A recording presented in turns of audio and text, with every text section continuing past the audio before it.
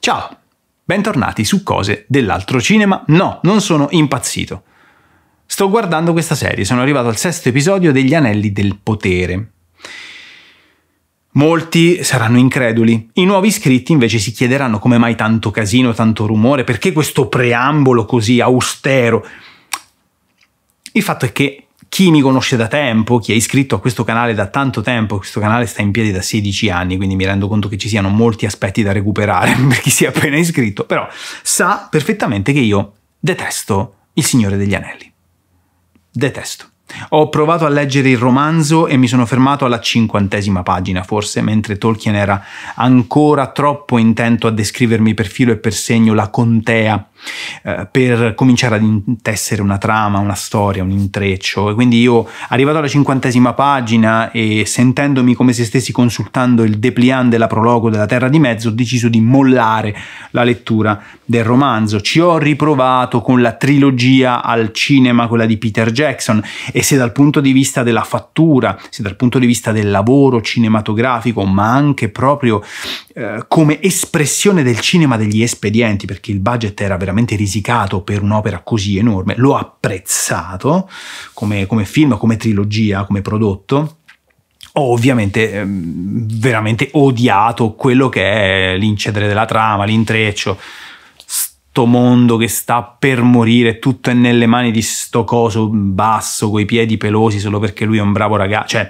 ci sono cose nel fantasy che io proprio non tollero, le trovo forzature, la compagnia dell'anello, cazzo, sta per esplodere il mondo, sta per succedere qualcosa di gravissimo, ci mandate quattro persone.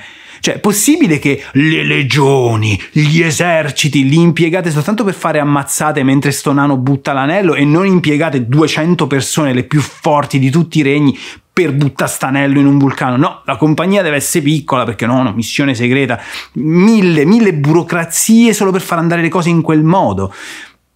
C'ho l'odio, ragazzi, c'ho l'odio e io odio la narrazione fantasy perché per quanto mi riguarda è vagamente narrazione, il resto è semplicemente un contesto gonfio, tronfio e per quanto mi riguarda inutile. Quella è la caratteristica del fantasy che odio di più, cioè la trama, l'intreccio, sono assolutamente soffocati dal gigantesco contesto che c'è intorno. Gli amanti del fantasy amano immergersi in un contesto ben descritto, molto dettagliato. A me quella roba lì, più che sminuzzare i testicoli fino al quark, non fa. Quindi, raga, scusatemi, ma io detesto il fantasy. E so che molti là fuori mi diranno, eh, ma tu detesti l'high fantasy. C'è anche un altro fantasy che tu però non conosci perché in 38 anni non ti è mai capitato di vederlo, perché è nascosto, ce l'ho io in cantina, ce l'ha mio cugino, non l'hai mai visto, ma quello è fighissimo. Ragazzi, anche a me piacciono molte opere dark fantasy.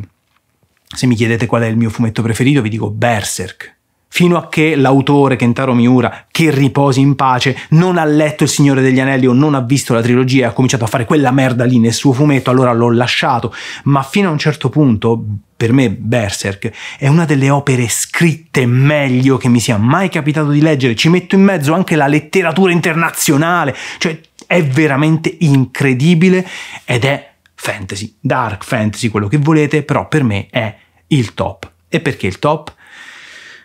perché non si parla dei cazzo dei massimi sistemi. In Berserk è tutto molto intimista. Non c'è questa voglia megalomane di allargare sempre tutto, cioè fateci caso, si parla sempre di mondi che vengono generati da entità potentissime, non si sa mai bene quali sono questi poteri, ma entità potentissime, legioni che si scontrano, che marciano verso est, legioni di orchi slash del caos, slash di, di quello che vi pare, ma è sempre la solita solfa enorme, gigantesca, e a me quella roba non mi piglia, non mi prende. Quando è che riesco ad appassionarmi a un'opera fantasy? Quando riesce a trovare la sua intimità, quando riesce a farmi veramente affezionare ad un personaggio perché non è inserito in un contesto di 30.000 personaggi. In questo Game of Thrones per me ha fatto un miracolo, perché è riuscito a farmi amare dei personaggi che nonostante prendano parte ad eventi enormi, riescono ad avere nel loro piccolo un microcosmo narrativo che seguo con molto piacere. Il Signore degli Anelli per me è un microcosmo di rotture di coglioni una dietro l'altra, concatenate proprio in maniera sapiente da uno dei supplizianti letterari più abili che io abbia mai conosciuto, ovvero il buon Tolkien. Quindi, questo gigantismo non mi ha mai preso, ma poi in realtà mi fa lo stesso effetto che ti fa quando stai mangiando il tonnarello al pomodoro, no? in televisione passa il telegiornale e ti manda questa catastrofe. In un isolotto sperduto che tu non sapevi nemmeno esistesse, un vulcano ha eruttato e sono morte 12.000 persone. 12.000 persone, una tragedia immane. Però tu poi torni al tuo spaghetto quando lo spaghetto è finito, tu hai pure dimenticato quello che hai visto al telegiornale. Mentre se il giorno dopo, passando per strada così, vedi sto vecchietto, no, col bastone, 103 anni, no, vecchissimo, col bastone, una macchina lo schiatta, lo mette sotto, tu la strisciata di sangue sull'asfalto non te la togli dalla testa per tutta la vita, ti svegli di notte matido di sudore pensando a quella scena, quella co- il vecchio di 103 anni che rispetto a, a tutti i bambini dell'isolotto infuocato, non è niente come tragedia. Ok, il vecchietto di 103 anni per te diventa una cosa, devi andare in terapia per togliertela dalla testa. Ecco, questo è quello che dico. Per me il fantasy è l'isolotto di cui nemmeno sapevo nulla nel mare del sud che piglia fuoco perché erutta un vulcano, non conoscevo nessuno, che però il vecchietto che mi schiatta davanti, che come tragedia, ripeto, è infinitamente minore, mi colpisce di più. Il vecchietto è una storia come piace a me. L'isolotto al telegiornale, quando ho il tonnarello in bocca, è il fantasy. Penso di non potervi descrivere meglio come mi sento rispetto a queste opere. Così gonfie, tronfie, legioni. Sti cazzi, ok? Quindi, Gli Anelli del Potere per me era potenzialmente un'opera velenosa. Velenosa non tanto perché mi avrebbe ucciso, ma velenosa perché mi avrebbe narcotizzato. Di questo ero quasi sicuro. Invece, sorprendentemente, mi sono addormentato soltanto una mezz'oretta sul terzo episodio, che è veramente una rottura di coglioni. Però, generalmente, reggetevi forti, tenetevi forti. Non mi è dispiaciuta. Cioè, mi ha fatto molto più schifo lo Hobbit. Molto di più. Qui, diciamo che ci sono chiaramente delle cose che proprio gli avrei sputato, però pensavo peggio, pensavo che mi avrebbe fatto un effetto molto molto molto peggiore. Anche perché in tanti ho visto che hanno scritto sui social, Madonna che rottura di coglione, è pesantissima, una serie noiosissima. A me non è sembrata, cioè ho dormito perché ho dormito al terzo episodio, però non mi è sembrata così un macigno. Sarà che io sono stato forgiato da anni e anni di cose che di pesantezza ne hanno proprio accarrettate, però per me non è questa una roba pesante. Volete vedere una cosa pesante? No, non può essere una bestia viva con un cervello umano.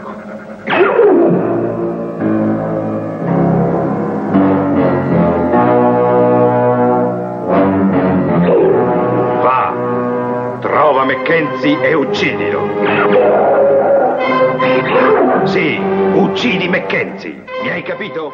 Ah, ragazzi, scusatemi, questa clip mi ha messo una sonnolenza addosso. Meno male che è venuto Kobe a svegliarmi. Comunque, latitudine zero, se soffrite di insonnia, è la vostra medicina. Questo è un film del 1969 che tratterà i vostri testicoli come un pungiball, garantito. Certo sarebbe una bella seccatura se doveste espatriare per lavoro e scopriste che lì dove siete atterrati questo gioiellino narcotico non è presente nei cataloghi di streaming.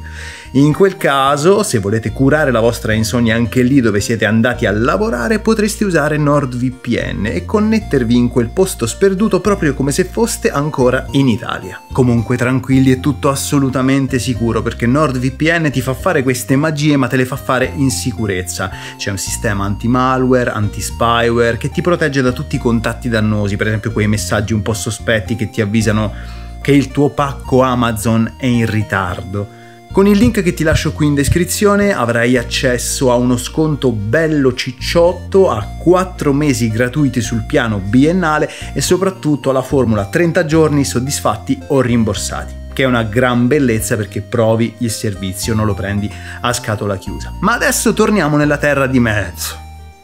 Non è che non mi sia piaciuto l'impianto fantasy, perché in effetti ha un focus molto molto maggiore sui personaggi, sulle loro emozioni. Sarà che è una serie, non è una trilogia di film, sarà che si sono presi molto più tempo, forse pure per quello può risultare un po' lenta, però secondo me hanno giocato molto bene, non con tutti i personaggi, alcuni se li sono giocati malissimo, adesso ne parliamo, però alcuni di loro sono interessanti. E adesso prenderò il mio telefono Questa storia è una storia estremamente corale. Alcuni degli elementi, alcuni dei personaggi e alcune delle situazioni andranno a confluire di questa cosa me ne sono accorto intorno al quarto o quinto episodio, quando cominciavano ad unirsi alcuni fili, no? um, alcune situazioni che sembravano completamente co- slegate vanno a collegarsi e adesso mi aiuterò con il telefono per ricordarmi i nomi dei personaggi. Dunque, diciamo che il Frodo della situazione, o comunque sia la, la, figura centrale di questa vicenda, è Galadriel. Per dirla alla Game of Thrones, Galadriel è un po' Daenerys. Ok? All'inizio sembra che abbia una, una storia tutta sua, ma poi questa storia va a confluire in tutte le altre, vuoi o non vuoi. Qui c'è Galadriel, che è un'elfa decisa, convintissima a estirpare ogni singola traccia dell'esercito di Sauron, perché la guerra si è conclusa. L'esercito di Sauron è stato sconfitto, ma qua e là c'è ancora un po' di stipsi di guerra. Lei continua a pensare che Sauron sia da qualche parte a dormire, che il male sia addormentato e prima o poi tornerà. Questa è un'altra cosa del fantasy, io proprio non tollero il concetto del male addormentato. Cioè quando mi dicono uh, hanno risvegliato il demone, era stato sigillato dalla chiave di Gastulbern, e adesso si sta svegliando, l'hanno liberato, era chiuso lì da 3000 anni. 3000 anni? È bella, cioè poetica quest'idea del male addormentato, il male dorme in attesa di tornare, molto poetica. Però se ti stacchi da questa da sta roba spicciola, da questa poesiola spicciola e cominci a pensare, ok, demone chiuso in una stanza per 3000 anni. Pensa soltanto questo in maniera pragmatica, in maniera lineare, un demone chiuso in una stanza per 3000 anni. La prima immagine che ti verrà in mente è sto demone che si ammazza di seghe guardando dei geroglifici. È la prima cosa che ti viene in mente. Che vuol dire 3000? Chiuso, dorme da 3000 anni. Por... Che cosa vuol dire? Cosa vuol dire? È chiaro che il demone, appena lo liberi, non è che va a devastare il mondo. Va a mignotte. È la prima cosa che fa. La prima. E poi cerca un amico per fare due chiacchiere. Che cosa significa il male addormentato?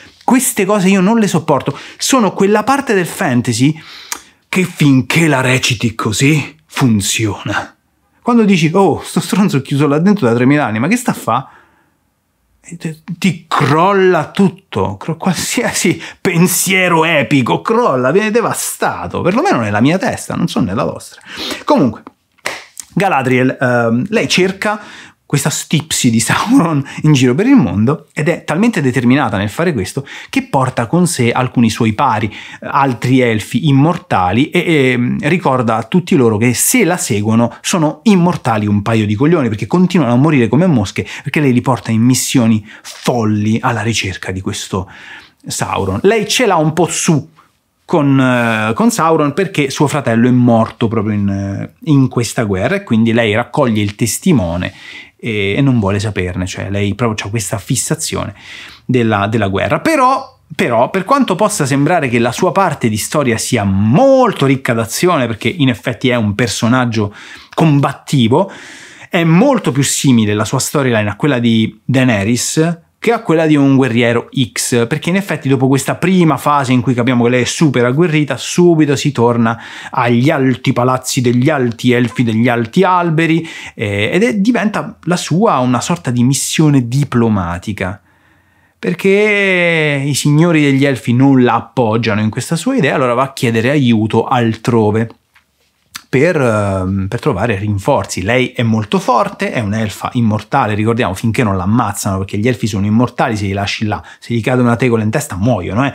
Quindi lei ha bisogno di aiuto per portare avanti questa sua battaglia ed è proprio convinta di doverla combattere. E quindi viaggio super ultra uh, diplomatico con sprazzi di azione. Ci torniamo sul personaggio di Galadriel e ci torniamo anche sugli elfi. Però, per il momento, uh, un'altra storia eh, che mi è piaciuta molto è quella di Elrond. Sto leggendo i nomi, ragazzi, non me li ricorderò mai. Elrond è questo giovane elfo, giovane nel senso che ha soltanto 8-9 mila anni, un ragazzino praticamente, che viene convinto, sempre dall'alto consiglio degli elfi, ad andare a chiedere aiuto a un suo vecchio amico, un nano di nome Durin. Lui all'inizio non sa perché è stato mandato lì, o perlomeno propone lui di andare a parlare con questo nano, però in realtà è tutta una macchinazione per convincerlo a estorcere dei segreti minerari a questo nano. Ora, nonostante anche qui ci siano degli elementi troppo fantasy, la parte che mi piace di questa storia di Elrond è il fatto che lui sia veramente molto amico di questo Durin, però si sente in colpa perché sono vent'anni che non si sentono. Ora, per lui che è un elfo, vent'anni è come per me una settimana, ma per questo nano è stato un abbandono, cioè vent'anni, no? E quindi è un po' come quando non senti un amico da tanti, tanti, tanti anni e c'hai pure vergogna a chiedere oh come stai, perché insomma, sì è vero, non si è fatto sentire manco lui, però pure te sei stata una merda. Quindi è un po' questa situazione e secondo me è raccontata benissimo. È molto bella, molto, molto interessante questo rapporto tra i due. Come al solito, ragazzi, non i massimi sistemi. A me colpiscono queste cose. Le cose piccole, sentite, belle, che potrei aver vissuto anch'io, no? L'ultima volta che ho visto una legione di qualcosa ero a Mirabilandia e stavo facendo la fila. Comunque, torniamo al nostro... Ecco, abbiamo un'altra linea narrativa che è quella di uh, Nori. Nori uh, è una pelopiede. Lei è una pelopiede. Credo siano gli antenati degli hobbit perché sono piccolini, hanno i piedi pelosi e non sono sicuramente un popolo guerrafondaio, sono molto simpatici, sono tranquilli, eh, amanti della natura. Questi sono nomadi. Nomadi. Ora, io da quello che so degli hobbit, loro hanno la contea e cazzo se si muovono da là impazziscono, cioè loro veramente nel film Il Signore degli Anelli c'è anche la scena dove varcano tipo un cespuglio, dicono non siamo mai stati così lontani dalla contea. Questi qui invece, questi pelopiede, sono nomadi. Non so se siano il prototipo degli hobbit, se poi col, col passare dei millenni si siano evoluti, siano diventati stanziali, però boh, non lo so. Ma qui si chiamano pelopiede. E non ne so nulla, ragazzi, veramente. Cioè, questa roba è tratta da alcune appendici che ha scritto Tolkien. Come si fa a riconoscere uno che soffre di logorrea letteraria? Quando tu fai il Signore degli Anelli, l'Hobbit, eh, il Simarillion e poi scrivi pure le appendici, è chiaro che non ti sei sta fermo con le mani, no? E quindi è tratta da questa roba qui che io però non conosco, quindi non so bene come siano impostate certe cose, se ci siano dei rimandi. So soltanto che questi sono eventi che accadono molto prima del Signore degli Anelli, molto prima dello Hobbit, quindi prima che nascessero Bilbo, Frodo, Aragorn, tutti questi. Tranne gli elfi, gli elfi sono quelli, sono andati avanti per millenni, quindi gli elfi ci sono, sono gli stessi, l'unico, credo, l'unico punto di congiunzione, gli elfi, Sauron, queste sono le cose che collegano le, le vicende, perché sono le cose a lunga scadenza, chiamiamole così. Ecco, questa... Nari, Nori, questa Nori, questa pelopiede, vive in questo, in questo, posto e lei è una sorta di prototipo di Bilbo Baggins. Nel senso, Bilbo Baggins è attaccato alla sua contea, sì, è un, è un hobbit a tutti gli effetti, però è diverso dagli altri perché lui non è così... Eh, così tranquillo in realtà, è molto irrequieto, cerca sempre l'avventura, cerca sempre di andare a, a vedere altre cose e infatti eh, Gandalf si affeziona molto a Bilbo proprio perché ha questo animo diverso, molto curioso, no? Ecco, lei è un po' come Bilbo, lei è una pelopiede che va, va, oltre quelli che sono i confini del campo stabilito, perché questi sono nomadi, ma ogni volta che, che, si piazzano da qualche parte hanno dei confini, non li possono oltrepassare, ma proprio roba tipo no, oltre quell'albero non ci andare perché è pericoloso. Lei invece è molto coraggiosa, molto curiosa e come personaggio è quello più adatto ad accogliere la grande novità. Nella sua storia la grande novità è questo essere gigantesco che piove giù dal cielo, cioè gigantesco, magari alto come me, però loro sono tutti piccolini, e quindi c'è questo essere umanoide che non so se sia un mago, un, demone, un extraterrestre, non lo so, non si sa, e per questo la sua storia mi è piaciuta molto. C'è questo elemento curioso e io mi sono molto incuriosito. No, no, ordinario, cazzo si chiama, è un bel personaggio, divertente, simpatico, positivo, e la sua linea, diciamo così, l'ho seguita con grande piacere. Poi, poi c'è uh, un'altra linea interessante, tuttavia uh, meno delle altre, secondo me, quella di Aaron, Arondir. Ar- Arondir, credo sia, che è praticamente questo elfo che è stato messo a guardia degli uomini, perché durante la battaglia con Sauron alcuni esseri umani hanno fatto un po' le merde, si sono schierate dalle parti sbagliate, cioè quelle degli orchi e quella di, di Sauron. Loro, questi elfi, sono lì a controllare questi esseri umani, questa popolazione eh, umana, perché non si ripeta questo gran tradimento. Non li stanno sgozzando tutti perché gli elfi comunque si hanno una diplomazia niente male, sono lì a controllare che questi non facciano cazzate. Mo, questo Aaron Dirana, Giuliano Frepponi, questo elfo, sta lì da così tanto tempo che ha cominciato esattamente come il demone, intrappolato ad ammazzarsi le seghe finché non vede questa graziosa umana e dice non ci avrà le orecchie a punta, però è molto carina. E quindi questi due si innamorano e c'è questa storia d'amore. Chiaramente questo elfo è un soldato, cioè non è il solito colletto bianco, cioè non si può parlare di colletti bianchi con gli elfi, però non è l'elfo. Oh, lui è proprio un soldato, è un uomo d'azione. Quindi in questa parte della grande storia degli anelli del potere, perché più è grande meglio è, deve essere enorme, questa è la parte più terra-terra, dove c'è tra l'altro più azione. Ora, piccola parentesi, poi torniamo a parlare proprio dell'impostazione. Piccola parentesi, L'azione.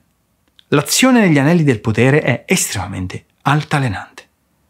Le scene con Arondir, Arondir, anzi, Giulio, e molte altre scene d'azione che si vedono sono veramente belle.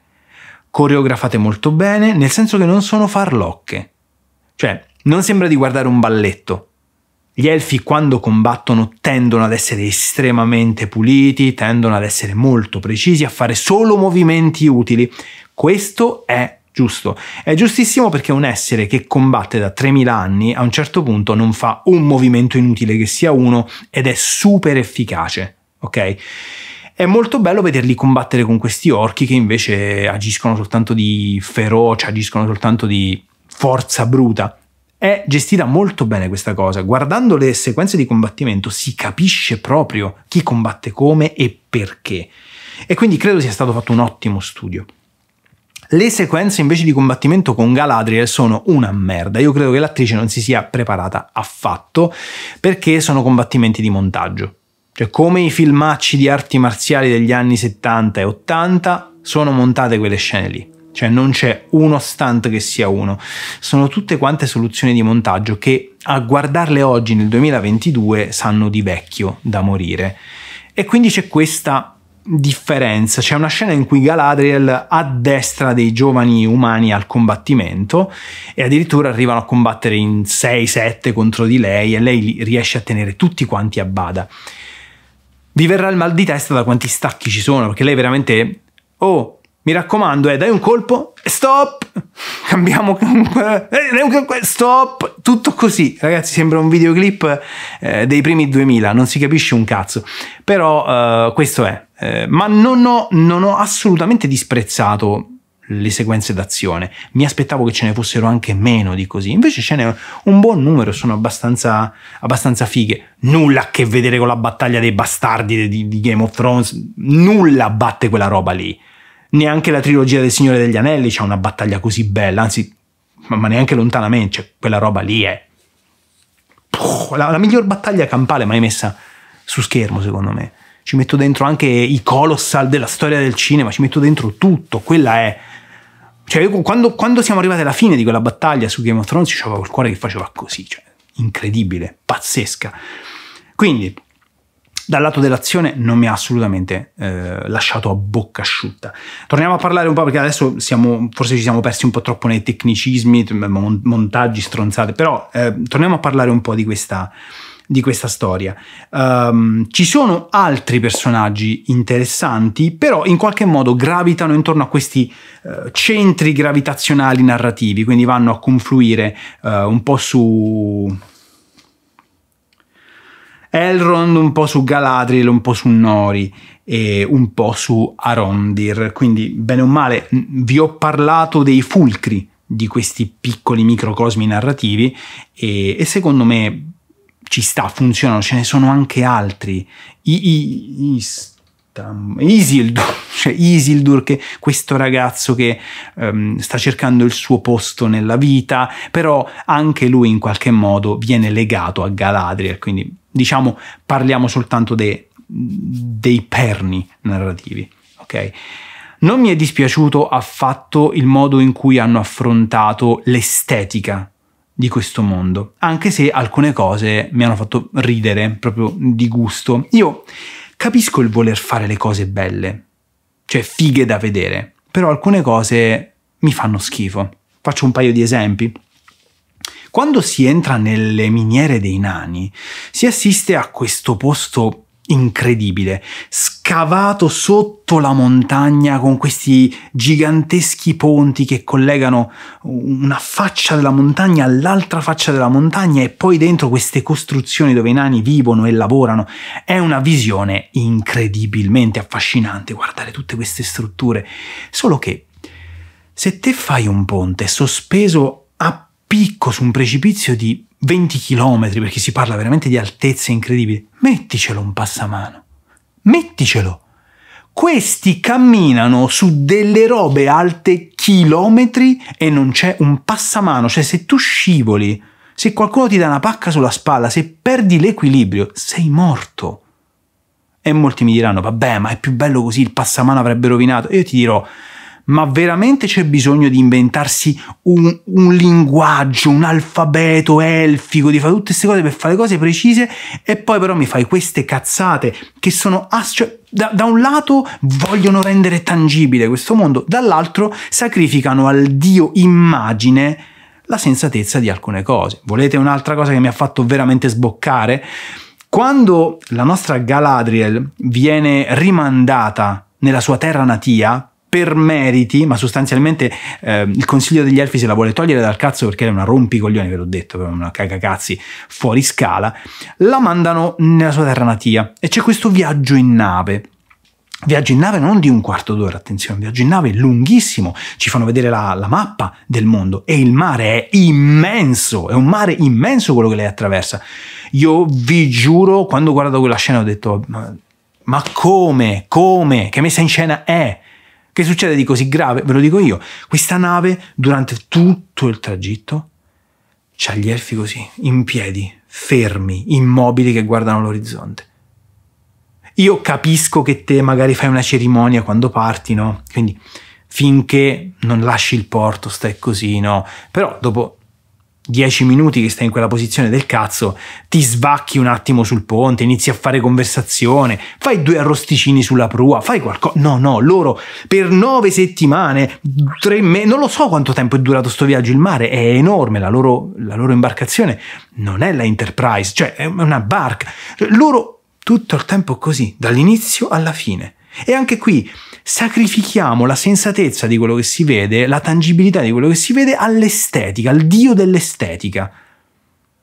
No, l'alfabeto degli elfi perché devono essere veri, no, tangibili, però non esiste un essere umano, ma anche fantastico al mondo che starebbe tutto il tempo di un viaggio così lungo in piedi come uno stronzo a guardare l'orizzonte in silenzio. Non esisterebbe mai una cosa del genere. Eh, ma gli elfi sono esseri austeri, esseri eterei, no, sono stronzi, stanno in piedi così e ancora ancora la messa in scena di quella roba funziona perché ci hanno messo il mare piatto come una tavola. Fammi quella, fai, fai, fai, fai quella scena con una tempesta. Fai, fai. Con gli sgombri che saltano fuori dall'acqua si infilano in faccia agli elfi con i gabbiani che gli cagano in testa e loro così guardano l'orizzonte. La, la merda dei gabbiani che scivola così. Ci avevate pensato a queste cose, eh? Esattamente come non pensate al demone che si masturba, chiuso 3000 anni là dentro, che quando esce va a puttane. Esattamente come non avete probabilmente fatto caso a questi passaggi degli elfi mortali, mortali, ecco perché non ci sono bambini. Sono tutti morti giocando a pallone. Io odio, odio, odio, odio questi aspetti del fantasy. Odio detesto, a parte il fatto che poi un'elfa eh, come Galadriel, con un'esperienza millenaria così, che cosa fa? Alla fine decide di non andare a Gardaland, la terra degli elfi, così si butta in mare con il saggissimo intento di farsela a nuoto. Cioè già è stata un, un'impresa titanica stare come uno stronzo così per tutto il tempo. Mo te la fai pure a nuoto a tornare. Fortunatamente lei ha più culo che anima, trova 28 passaggi e riesce a tornare sulla terraferma, ma più di una cosa per me ha scricchiolato nella messa in scena proprio, nel, nel modo in cui vengono rese tangibili le situazioni. Più di una cosa. Ho apprezzato moltissimo uh, quello che è proprio l'aspetto visivo, artistico, la direzione artistica di questa, di questa serie è incredibile. Non si sono risparmiati, cioè se penso alla prima stagione di Game of Thrones era praticamente aveva la regia di una telenovela spagnola, né più né meno, eh. campo contro campo, campo contro campo, palazzo, campo contro campo, campo contro campo. Qui invece si assiste a moltissime inquadrature complicate, moltissime inquadrature di difficile realizzazione, ma che danno respiro, che rendono l'idea. E non parlo dei campi lunghissimi su ste città che a un certo punto cominciano pure a rompere i coglioni perché ti rendi conto che se ne abusa, no? Ti fanno sempre vedere queste città enormi, sempre col tramonto, sempre con gli uccelli che volano. A un certo punto fai, vabbè, una giornata un po' di merda, non c'è mai qua, è sempre una cartolina sto posto, diventa finto, no? Però, a parte quello, anche durante i combattimenti ci sono inquadrature di due secondi, magari inquadrate così a picco dall'alto. Perché? Perché funziona meglio. Ci avranno perso mezza giornata a montare quel dolly, però cazzo funziona. Vedi delle inquadrature bellissime, dei piani sequenza molto molto belli, molto molto complicati, che però funzionano. In Game of Thrones all'inizio sta roba non la vedevi, il budget era risicatissimo, qui l'hanno usato, l'hanno usato bene. Quindi dal punto di vista visivo, dal punto di vista della fattura, non ho niente da ridire. A parte queste cose che vi sto dicendo che secondo me sono delle puttanate enormi, però dal punto di vista della fattura è un'ottima serie ed è uno dei motivi per cui io sono andato avanti a vederla. Vi dico una cosa, non sto facendo spoiler ragazzi, sto provando a non fare spoiler, a parte questa cosa degli elfi che però ve la dovevo dire perché è troppo grave, però non vi dico come vanno a confluire le storie una nell'altra, sarebbe veramente uno spoiler. Eh, una cosa ve la dico, credo che molte persone abbiano notato questa noia, questa pesantezza, perché secondo me hanno ragione, a me non dispiace, sono, ripeto, sono abituato a molto di peggio, però le puntate sono estremamente discontinue come, come ritmo. Cioè c'è la puntata che ti incolla proprio, che ti tiene lì, uh, sempre con la bocca aperta, a dire oh cazzo, cazzo, che succede, che succede? Poi c'è la puntata diplomatica, tutta intorno a un tavolo a parlare. Non è stato gestito, secondo me, come un prodotto seriale tenendo conto del singolo episodio. È proprio tutta una roba, fate conto un film di, non so, 10 ore, quante puntate saranno, poi alla fine sono arrivata alla sesta, è tipo un film di, di 10 ore che è stato spezzato in punti a caso, cioè ogni ora spezzano. Cioè questo è stato fatto, non è che c'è uno studio del finale o magari un, una specie di costruzione episodio per episodio in modo tale che ogni episodio brilli di vita propria, no? Questo spinge al binge watching perché ci sono episodi così poco soddisfacenti che tu ne puoi vedere un altro per, per, vedere un po' di ciccia.